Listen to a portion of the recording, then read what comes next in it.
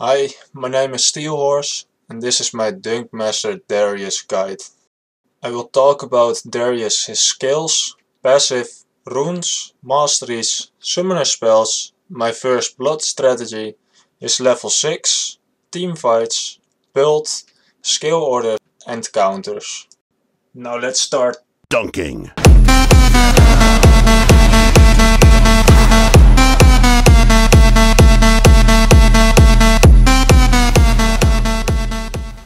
Darius' passive, Hemorrhage. When Darius damages an enemy, this enemy will bleed for 5 seconds. You can stack the bleed up to 5 times. Upon applying 5 stacks or ulting someone to death, Darius gains Noxian Might. With Noxian Might, Darius gains bonus attack damage based on his level. Darius his Q, Decimate. Darius swings his axe around himself, dealing physical damage to nearby enemies. The damage is doubled against enemies hit by the blade, the red zone.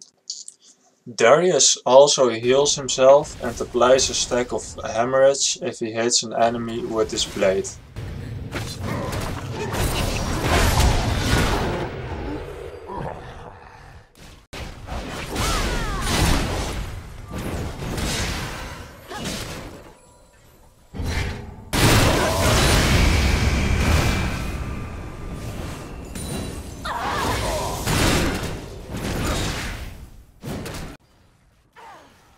For runes on Darius, I'd like to take attack damage marks, armor seals, CDR and magic resist per level glyphs, attack speed and attack damage quints. With my runes and build you will get 40% CDR.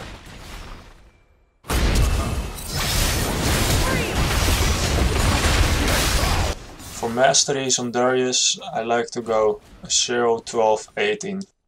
I am taking those masteries because you don't need more damage on Darius. He's dealing damage with his passive and ult anyway. The tankiness of the masteries sure do help a lot. Also, the mastery Grasp of the Undying is necessary for my first blood strategy that I'm about to explain. For summoner spells I take Flash and Ignite, because with Darius you need to snowball early game. My first blood strategy. First, start buying a corruption potion and a warding totem. Then start trading auto attacks.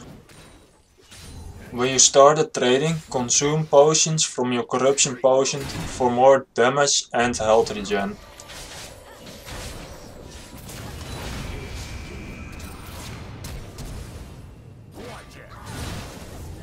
You will win trades because of the health regen from your refillable potion, your Q and grasp of the Undying.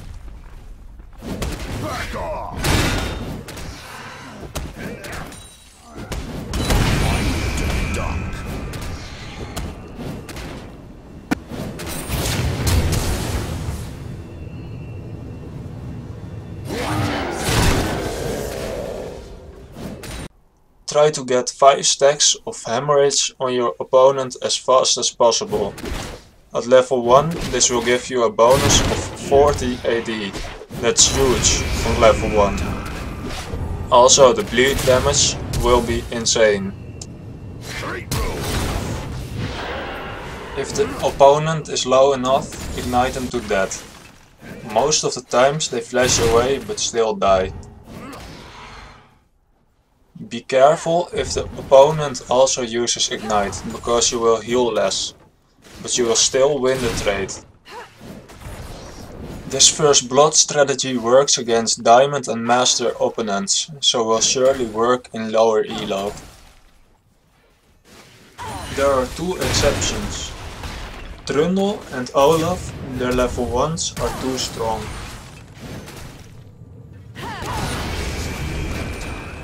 Not convinced yet? Here's two more.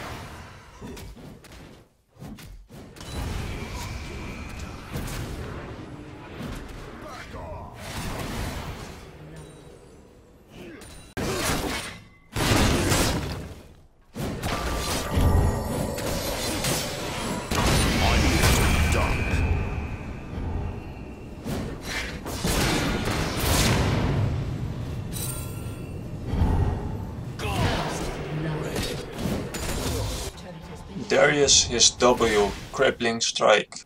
W is an auto attack reset, so be sure to use it straight after an auto attack to maximize damage.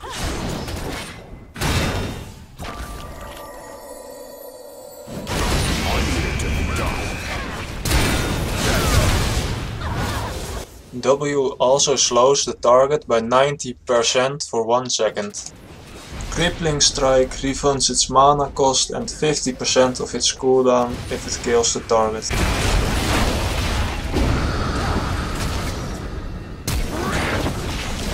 Darius' E Apprehend pulls in all enemies in front of him, slowing them for 40%.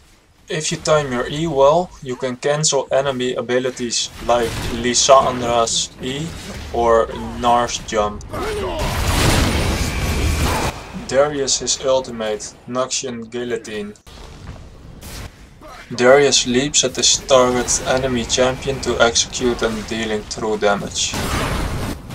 For each stack of Hemorrhage on the target, Noxian Guillotine's damage increases. If Darius gets CC'd at the moment he is in mid-air during his ult or when an enemy flashes away, his ult still goes through like you can see here against Cho'Gath. Darius hits an enormous power spike when he reaches level 6. You should always try to get a kill on level 6. What I normally try to do is when I am level 5 and almost reaching level 6, I start attacking my opponent and during this fight I will turn 6 by dying minions. This minion will level me up, so I start going for Gnar.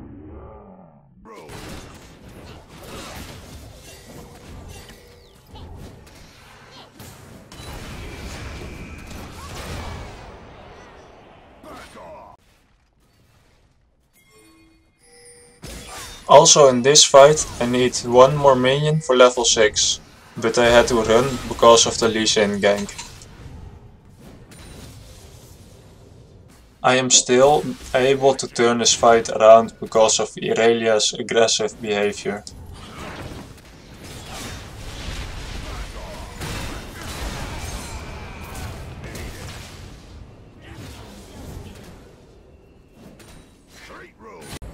During team fights you want to be the center of attention. You want the whole enemy team to go for you. During the time you are tanking and stopping the enemy front line, your carries can deal damage for free. Like you saw here with the Corki and Yasuo.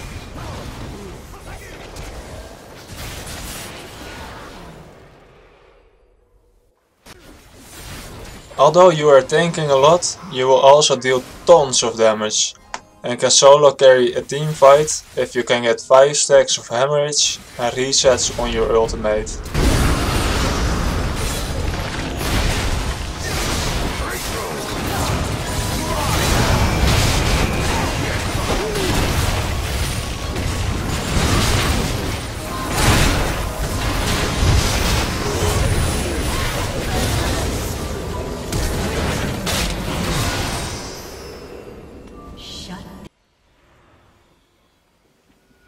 If Darius is fat, you can easily face a lot of opponents, even without ultimate.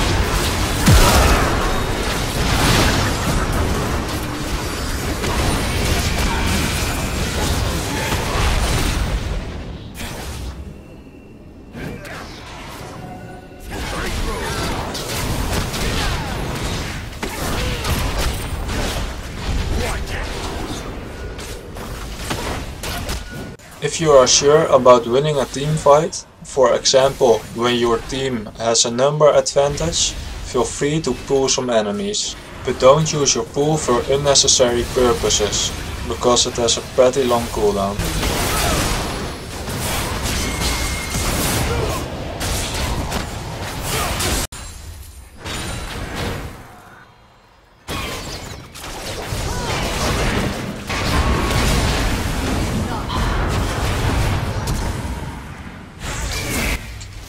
During this team fight, I start to zone out the Orianna and after that the Kalista until I kill her.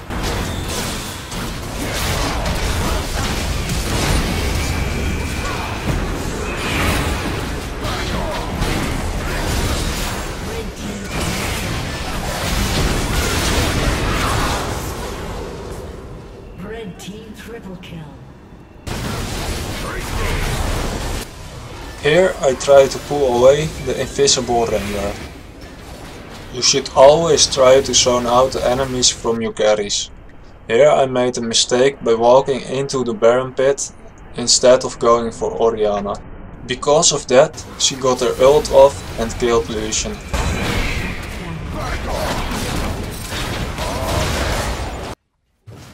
For my build, I start off with a corruption potion and a warding totem. Then I build phage and magic resistance against a heavy AP team or armor against a heavy AD team. Depending on the enemy team's composition, I finish Deadman's Plate or Spirit Visage first. After that, I will finish my Black Cleaver and finish my core build. This is what my final build looks like.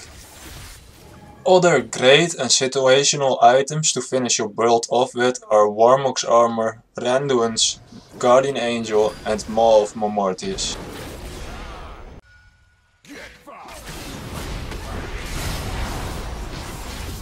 For my skill order I max Q first, W second and E last. Always put a point in your ultimate if it's available.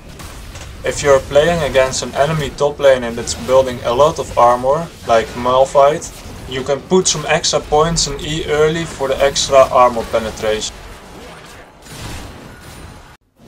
Counters on the top lane are Renekton, Gnar and Trundle. A good Gnar can kite around Darius.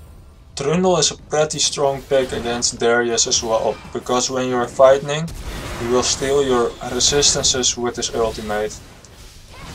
Champions that can kite a lot are generally pretty strong against Darius, because you can't always reach them, like Vayne, Kalista or this Ahri. But when you do reach them, they won't be alive for long. Thank you for watching, I hope you have learned a lot. If you liked it, please like and subscribe. And if you have any tips or questions, feel free to tell me in the comment section below. Have a great day.